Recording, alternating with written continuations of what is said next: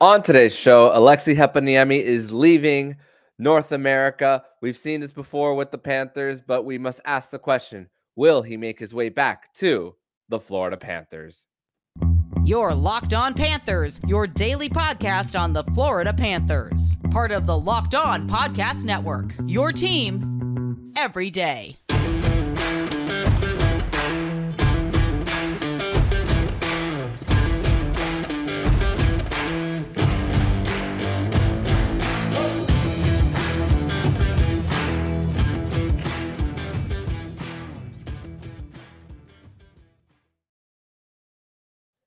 And welcome into this Tuesday, July 25th edition of the Locked On Florida Panthers podcast, part of the Locked On Podcast Network, where it's your team every day. Thank you for making the Locked On Florida Panthers podcast your first listen of the day. I'm Armando Velez, and you can follow me on Twitter at Mandoman12. Follow the show account on Twitter and Instagram at LO underscore FLA Panthers. And shout out to the everydayers who come back here and get your daily Florida Panthers fix. You can follow this podcast anywhere you listen to podcasts and on YouTube. Make sure to subscribe on YouTube and eh, because we are booming as far as the subscriptions. And don't forget to also press that like button. And yeah, I uh, introduced myself and say to follow me on Twitter, but with this it's this weird thing that's going on lately where it's I guess called X now. I mean, as far as what's showing up on my phone, we have seen the the Twitter icon with the bird still, not the X, but when you refresh it, it still has that and these graphics on Locked On, we might soon have to change them to X, and we might have to tell you to follow me on X at Mandoman12. So a little bit of a mini rant on Twitter as uh, it's in shambles, if if we're being quite honest. But on, but as we spoke about at the in, in our cold open, Aleksi Heponiemi is leaving North America, and it, it's actually crazy how I post my Friday episode with Nick Fairbanks, and then the very next morning the news comes out of Aleksi Heponiemi leaving North America to sign uh, in Switzerland with e- EHC Biel-Bienne. Uh, I apologize if I am mispronouncing that team's name incorrectly, but that that is where Aleksi Heponiemi is going to in Switzerland, the 2017 uh, 40th overall pick in, in the second round. And what's great about Aleksi Heponiemi's game is what he can do with his speed and creating space. But what has been the issue with Aleksi Heponiemi ever since he's come into the league? It's really been his size 5'10, 154.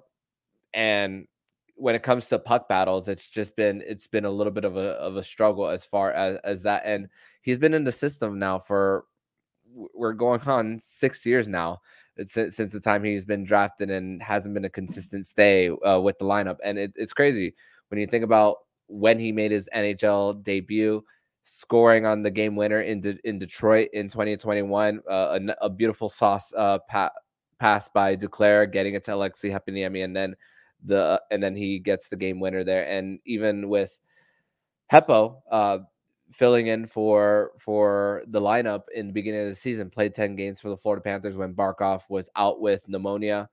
Uh, played 10 games, even got a goal out of it. And even in the Calder Cup playoffs, averaging a point per game, a goal in, in six assists in, in those seven games.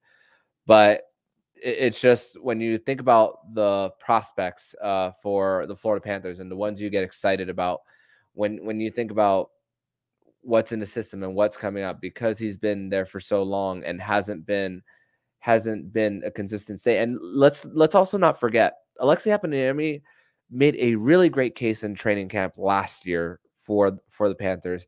And unfortunately, with the cap crunch that the Panthers were in, it was going to be really hard to put him in the lineup. And there are also 13 one-way contracts for for the Panthers on on this roster. So it was going to be a tough time for him to get into the roster as well, even this year, even with the open cap space that the Panthers have with the majority of Yandle's buyout coming off the books. And this, and when you're in the AHL for four years, that's frustrating after a while for someone like Aleksi Heponiemi. So this was possibly a great, a greater opportunity to get for him to get more ice time. And of course, with the ice that is over, overseas versus what's here, it, it's a bigger rink and and the, the game is played a lot differently. And hey, wish wish the best of luck for for Aleksi Heponiemi, and hopefully he makes his way back to the Florida Panthers. And we've seen this we've seen this before. Maxim Mamin ended up coming back uh, for um, to the Florida Panthers. Played with the President's Trophy um, season, uh, filled in on the top line from time to time because they didn't want to because Andrew Brunette at the time didn't want to mess with the chemistry of the Barkov and Verhaeghe line when when there was a whole bunch of mixing and matching with Duclair, Sam Reinhart, you name it. When when it when it came to Maxim Mamin coming back, and uh, unfortunately, unfortunately, uh, Maxim Mamin didn't stay long his second stint with the Panthers and and went back to KHL, which he eventually won a championship this year. Another one for the Panthers, and this one hurts a little bit more with uh, Henrik Borgstrom leaving, uh, for, former first round pick for the Panthers back in 2016, Le- left for left for Liiga, uh, and even Anton Lundell playing in that same team as Henrik Borgstrom was playing a bigger role, and that was his draft plus one year too for Anton Lundell,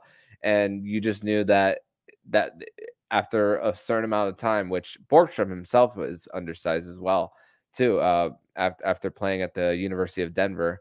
And you, you think about the guys who are who you get more excited about once again Mackie Samoskevich, Justin Sourdif, Grigor Denisenko, even even though he he's got to prove something this year. Mike Benning, Evan Nause.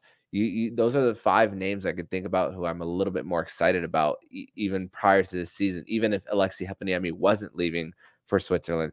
So as far as the four guys who were who are given qualifying offers from the Panthers, everything is done now apparently because Logan Hutsko, even though he was uh, given a qualifying offer, is going to be playing in Sweden th- this this year. Uh, so they're still going to hold on to his rights, just like Ale- uh, Aleksi Heponiemi. And Grigory Denisenko is taken care of as, as well for, for the Panthers, and and John and John Ludvig as well for for the Florida Panthers. So those are of, of, of everyone as far as the RFAs. Everyone everyone is uh, taken care of. So there's no more. There's going to be no more news for a while as far as the upcoming RFAs uh, for for the Panthers. But it begs the question: Will we f- see Aleksi Heponiemi back? And it's uh I, I'm I'm having I'm having a hard time thinking that yes, there will be a path for him back. And I actually ran a Twitter poll actually for for for this uh, prior to I, I set this like four hours before recording this show, and 71 votes and 75% of you guys said that he will not make his way back. And there's a few replies uh, saying uh, I, I gave like an option B, option A, option B yes or no and then someone commented saying option c if he does great. If not it's it, it's it's fine. So it's not something that a lot of people will be sweating at if what regardless of result and one and so best of luck best of luck for Hepo in, in his future and hey maybe maybe he finds a way to up his game through that experience over in Switzerland so best of luck Aleksi Heponiemi and also when it comes to just farm system and prospect pool. Even even in January, I was looking up ranks for for Panthers as far as prospect pool, and they were ranked 26th at the time. And it's just conti- the continued failed development of what Dale Tallon and the scouting department brought at that time. And I know in this regime with Bill Zito and company, the goal is to to keep winning. And when you're when you're shipping out assets and even even almost NHL ready players, your prospect pool is going to, be depleted after a while. So it's not a surprise that the that at the time back in January that uh, that the Panthers prospect pool was ranked at, at the time of of uh, of 26 of 26 and we even spoke about on Friday with Nick Fairbanks how don't get married to the cap sp- the amount of cap space that the Florida Panthers have because it's it's really it's really starting maybe to even bite Bill Zito back uh, when when it came to him going for it back in 2021. Which hey, um, you're trying to win a Stanley Cup at the time, and you really think that you have a chance, but we're start we're starting to really see the lasting effects of it when when it comes to prospect pool cap space and what the the Bill Zito's ability or inability to what he can do even in in a even in an off-season trade or a trade deadline coming up. So Panthers will still have their hands tied for a little while. In segment number 2, we are going to discuss more of if the Panthers should try to make a specific signing to increase their chances of winning the Stanley Cup this year. We're going to discuss that and more here on the Locked On Florida Panthers podcast. But first, we're going to tell you all about AG1. And our next partner, AG1, is a daily foundational supplement that supports whole body health. And I literally drink it every day. And I started drinking AG1 because being some from South Florida, I drink way too much coffee, sometimes two, uh, two, three cups of uh, espresso at times. The, of course, w- with uh, in my neck of the woods here in Orlando, they're actually expanding Vicky's Bakery, so that's a place that I gotta avoid. And how do I avoid that? I gotta drink more of my of my AG1, and it's great before my workout. It, it makes me feel great, and it it it it doesn't it helps me fight some of the cravings based on based on how it, it fuels uh, the energy. If a comprehensive solution is what you need from your supplement routine, then try AG1 and get a free one year supply of vitamin D and five free AG1 travel packs with your first purchase. Go to drinkag1.com slash NHL network. That's drinkag1.com slash NHL network. Check it out. Segment number two here on this Tuesday, July 25th edition of the Locked On Florida Panthers podcast. And shout out once again to the everydayers who come back here and get your daily Florida Panthers fix. So, as, as said on the top of the show, July 25th, dog days of summer. This is the time of the off season where it's as dead as it can be. Everyone, all the teams have pounced on their fair share of free agents, their fair share of trades that they want to do want to make in order to make their team either competitive or try as hard as possible to tank for the upcoming NHL entry draft. But there's one the, there's one big free agent still remaining. And this was brought up by George Richards of Florida Hockey Now talking about if the Florida Panthers should go after Vladimir Tarasenko who to give you guys an idea of what his uh, situation is like, fired his agent, rejected an offer of $6 million, uh, apparently from Carolina, and is a guy who wants to get paid a- after finishing up his contract from what we was given in St. Louis after being drafted there, traded to the New York Rangers, uh, and um, the Rangers falling flat on their face in round one. The Rangers just don't have the avenue to bring him back. But the open cat space that the Florida Panthers do have with LTIR, with Montour, with Ekblad, it could give an opportunity for Bill Zito to maybe do a little bit of finessing if he were to meet with Vladimir Tarasenko. And there's no reporting behind this. George Richards isn't even report, reporting anything. He's just making a suggestion here. So the chances of it are very low of, of it happening. But when you think of what Tarasenko brings, protects the buck well, wicked shot, great hands. Oh my goodness, his hands are. After watching some of his highlights, his hands are very similar to Matthew, Matthew Tkachuk, and great in space too. Um, using his body to to to avoid getting checked, and and that is, and there's something that George didn't mention in his article that I want to bring up here, and that is that Barkov hasn't really had that consistent piece on his right wing, and that's been like that for a while now. We we we see Verhaeghe on his left. Once in a while, we'll see Tkachuk on his right, but you want you still want to separate the two as far as forward lines and have them a little to to create more balance in the lineup too. Yeah, you can play Tkachuk and Barkov from time to time together, but we haven't had that consistency. Duclair's gone, at times we've seen Sam Reinhart fill in that spot. But let's be honest, Sam Reinhart plays better with Anton Lundell. He, yeah, a lot of fans are thinking 6.1 is a lot for a third line right winger, but it, it only looks like a lot based on the Florida Panthers cap situation because of how much is going towards their goaltenders, if we're being quite honest. If if they're paying their goaltenders even decent salary, I mean their blue line isn't even expensive. Like it, it, it look it, look it looks like an, it, when we think about avenues about clearing space.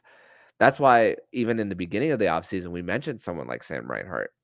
But when you think of Rhino, do you know where he ranks as far as goals scored in the last three seasons for Canadian born players? He's sixth with 89 goals in the last three seasons.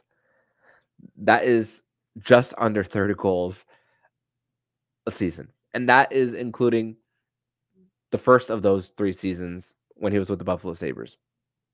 And let's not forget that Sam Reinhart coming into the Florida Panthers when he was given a qualifying offer, all the worry that this fan base had of, oh, is there is there a rift between the Florida Panthers and Sam Reinhart as far as where contract stands? And every single report said no, that there wasn't that. But what he can do on the power play too, which he has the most goals in a two year span on the man advantage. It's it's sometimes fans and even myself we could we under we can we don't appreciate what to, as much of what Sam Reinhart brings to the table as far as what he does in the bumper position, being being in the being in the slot area, uh, and and what he could do with getting rebounds as well and and converting, um, creating screens as well, and that is and and the mentorship that he's had with Anton Lundell over his development. And Anton Lundell, it, it, it, he's gonna Sam Reinhart is definitely gonna help him, I believe, help him take that next step in in year three of his development and and all. And that's why it's very crucial to bring someone on Barkov's wing, even even even more. And could George Richards spoke about could the Cats possibly sell him on something like four million, even. He did reject six. He wants to get paid. He's probably going to go back to the market and and get a bigger payday with the cap projected to be 87.5. I mean, Tyler Bertuzzi is doing that with the Toronto Maple Leafs. Oh my goodness. The spotlight that Tyler Bertuzzi is going to have there and and him being that that annoying pest right in front of the net and someone who is going to get in your face after the whistles. Oh man, Tyler Bertuzzi is going to get that spotlight right on him. And there's a possibility that Vladimir Tarasenko could get that with the Florida Panthers. Um, I know it's not the Toronto media market, but you're talking about the team that just came off an Eastern Conference championship. Yeah, the national TV schedule isn't out yet, but expect a lot of them for the Florida Panthers. And just based on some of the slots and the game times, especially on Wednesdays, which is the TNT nights, you can expect to see the Florida Panthers on on some of those doubleheader nights on uh, on TNT, as they will be possibly the first game of the doubleheader too. So that's an opportunity for Vladimir Tarasenko to have even more eyeballs on it. I mean, he's had enough eyeballs on him. I mean, he's a Stanley Cup champion. He he went to he went in the trade deadline to the New York Rangers, who are always on TV, and he's a not one, not two, but four time 30 goal scorer. I know he hasn't gotten consistently 30 goals uh, over the last few years, but there was a three three year stretch where he was, and then after that he was uh, had some issues with the medical staff of the St. Louis Blues, and even after that, I was I had an episode which is crazy. I think two year two years ago that I was thinking should the Panthers trade for him, but now there's a chance to possibly get him without giving up anything. We spoke about last segment how the Panthers have given up a lot of assets, and and it's going to be hard for them to make trades. So could could they make something happen here? And listen, we we don't we still don't know the statuses of Montour and Ekblad, uh, and if if you if you make that move without making a trade, it, there's your answer on how long they'll be out, and and if if they don't, then you could expect them those guys back fair um not fairly soon, but not not not past maybe January. So you you got to keep that space al- alive if you can, because someone's going to be on the short end of the stick, especially on the decor, like a Dmitry Kulikov, even maybe a Mike Reilly, even, and I I doubt this one. I doubt this one will be placed on waivers. I doubt Oliver Ekman-Larsson will be placed on waivers, but there's a possibility that that could happen. It's not a zero percent chance, too. But you know, you gotta you gotta be creative if you do end up bringing him in. I mean, last year they couldn't even bring Eric Staal on less than a million last year because of their cap crunch, and they had to wait until Aaron Ekblad went on LTIR to start the season.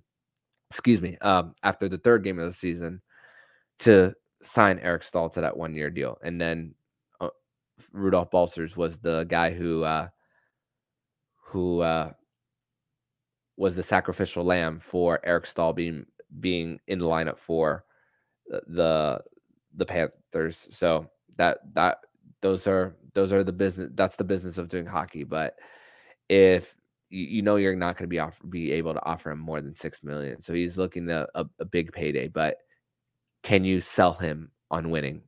Again, this is a team that's coming off an Eastern Conference championship. This is a team that's bringing a lot of the guys back with some additional role players. And this is again, like we spoke about last year, last week.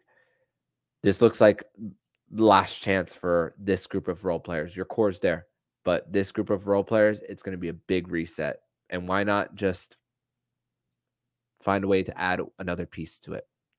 In segment number three, we're going to discuss where Matthew Tkachuk's contract ranks as far as best in the NHL. We're going to discuss that more here on the Locked On Florida Panthers podcast. Your Locked On Panthers, your daily podcast on the Florida Panthers. Part of the Locked On Podcast Network. Your team every day.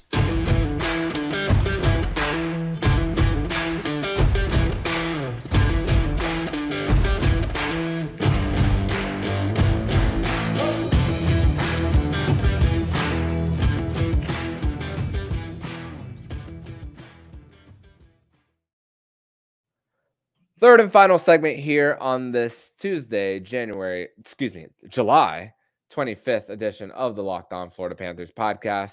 And thank you guys for for all the everydayers who come back and get your daily Florida Panthers fix.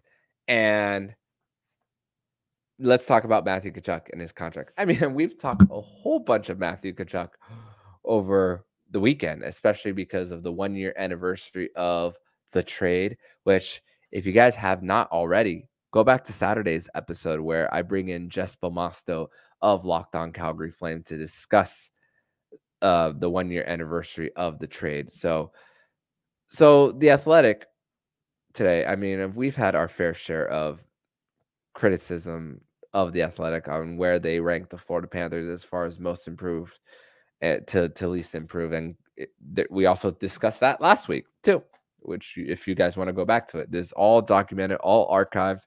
Y'all y'all have the freedom to to to go back there. But there the Athletic has ranked best the top 10 best contracts in the NHL right now. And top 10 is David Pastrnak at 10, Charlie McAvoy, Jason Robertson, Miro Heiskanen, Adam Fox, Matthew Boldy, Timmy Stutzle, Cale Makar, Jack Hughes, and number one is Matthew Tkachuk, and discusses mostly about his offensive rating, which is a plus 24. His defensive rating is right at zero, which is a great thing that we love to see.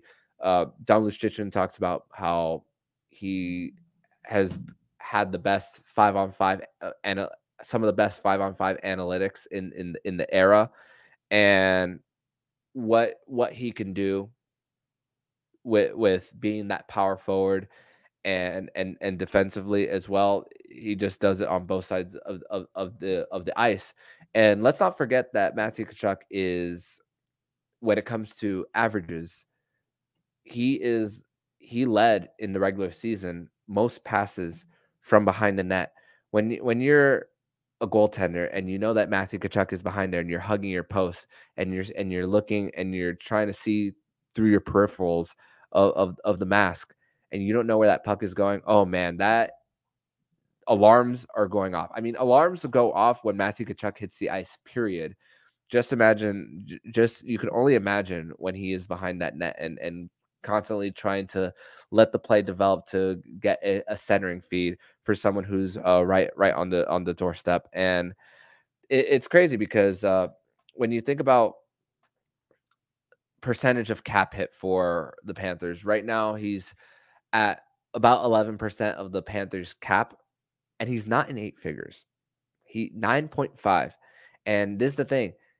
Bill Zito wasn't even the one who negotiated the contract. Technically, he was kind of in the know, yeah, because because it was a sign and trade, but all thanks to Calgary Flames, form, former Calgary Flames GM Brad Treliving for making that happen.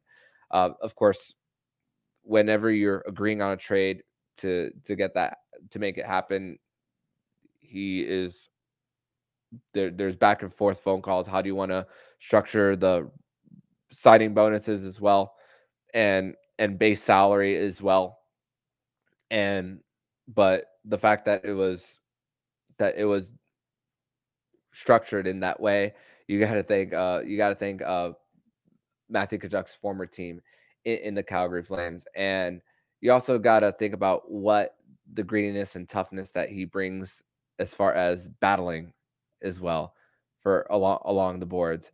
Uh, great, great with his hands, like like we've spoken about so many times. I mean, I was just watching some of the highlights of the playoff run, and I, I go back to that incredible goal that he had in Game Four, where his body was behind the net, but he still reached between his legs to get it past Linus Ullmark, and the game the game was over at the at the time uh, for for the Panthers, but he still found a, a, way to get that in the back of the net and to still at least make it not as embarrassing as, as it as it was, and, and, all. But eh, also, Dom Luszczyszyn goes over the surplus of what Matthew Tkachuk is worth, and according to his chart, the surplus of Matthew Tkachuk's contract would be worth 17.5 percent of the cap, but a, a an AAV of anywhere between 15 and 17 million. And when the and when the NHL came out with their their salary cap of what it was going to be, the highest paid possible paid player can be paid only 16 million AAV. But the fact that Matthew Tkachuk's surplus is the the high of that surplus is 17 million that it, it, it's it's great it's great to see how he makes that much of an impact uh as far as the other guys on the list david pastrnak is uh 10th 60 goals and making 11 million and he's 10th if his cap hit was lower as far as like maybe in the eighth or ninth that would have been number one over Tkachuk. Sorry to say, um, but it's also the percentage. It's also take into consideration the figures percentage of cap as well. Jack Hughes, like I like we spoke about, is number two, and he's and nobody. The only one on the New Jersey Devils making nine million is Dougie Hamilton. One contract that I'm surprised isn't on here is Cole Caufield. His contract hasn't even begun yet. But he went into he went when he went down with injury. He was at 29 goals. And I believe his injury was like February, March. He was on pace to possibly be a, a, a 45 to 50 goal scorer. And he signed an eight year term at 7 million AAV. I'm surprised that contract isn't on there. The Athletic, this was not I did not come up with this, but the Athletic also brought up a good point. Leon Draisaitl, two years away from his contract expiring, making 8.5. But I guess with this exercise, it's also considering the term as well, as as as far as as as far as uh as far as that. So they are putting into consideration how long a guy is going to be on your team based on the value he's putting for that period of time and the fact that you don't have to worry about a raise coming up anytime soon. So I guess that is the consideration of why this exercise and this model is shaped the way it is. But again, you go back to efficiency. I mean, last year, the Florida Panthers were the number one ranked team as far as contract efficiency for skaters. And yes, I said skaters. They did not include the goaltenders here based on ability to reset as well, uh, based on how Barkov and Tkachuk have the same timeline as far as contention. And that was before they made a, a run to the Stanley Cup final, too. So this was last year, and now the Panthers are reaping the benefits of a career high in 109 points. A guy who put everything on the line to try to win a Stanley Cup.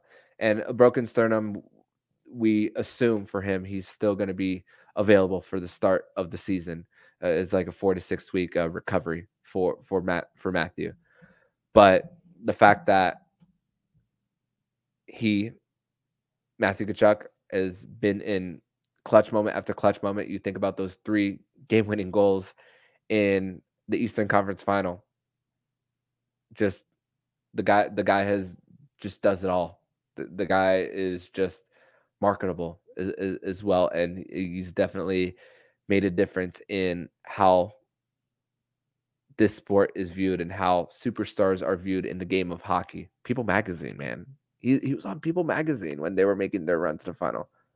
Also, uh, before we get out of here, I thought Jason Robertson was a little low uh, as well. Uh, he had a contract dispute with the with the Dallas Stars uh, just last offseason and and get, not getting the type of AAV he wanted, but sh- signed a five year term, and he's outperforming that contract as well. I'm surprised that he himself is not higher on that list, but just the other guys, Timmy Stutzle, who's going to be end up being the best player possibly in that draft over Lafreniere, Byfield, and eh, same draft as Anton Lundell as well.